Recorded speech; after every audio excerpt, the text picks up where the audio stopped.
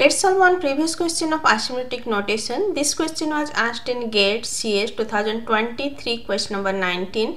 Let f and g be functions of natural numbers given by f of n equals to n and g of n equals to n square. Which of the following statement is or are true? And four options are given. When n equals to 1, f of n 1 and g of n will be 1 square. It's 1 so when n equals to 1 f of n equals to g of n. When n equals to 2 f of n is 2 and g of n will be 2 square. It's 4 so when n equals to 2 f of n is less than g of n. And above that for any n value f of n is less than g of n. For n value greater than equals to 2, f of n is less than g of n and for n equals to 1, f of n equals to g of n. Now option A, f belongs to order of g. Order means it's less than equals to. So you can write f of n less than equals to g of n or you can write n less than equals to c some constant c n square. It's true. n is less than equals to c n square. So option A is true. Next option B f belongs to omega of g.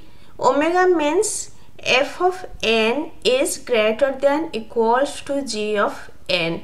So can say n greater than equals to n square. Some constant multiplied by n square.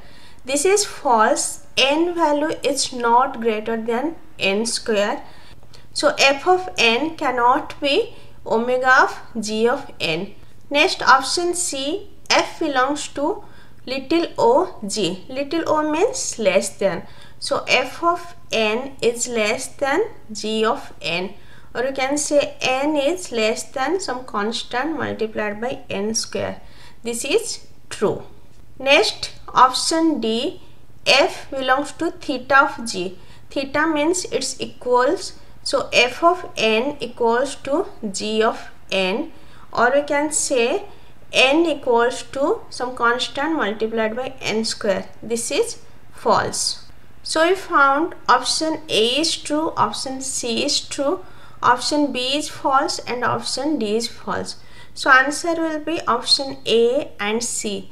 f of n can be less than equals to g of n or simply less than g of n. So n value can be less than equals to n square or n is less than n square. But n cannot be greater than equals to n square or n cannot be equals to n square. So answer is option A and option C. I already discussed asymptotic notation just go through the lecture and if this lecture is helpful for you please like share and subscribe. Thank you.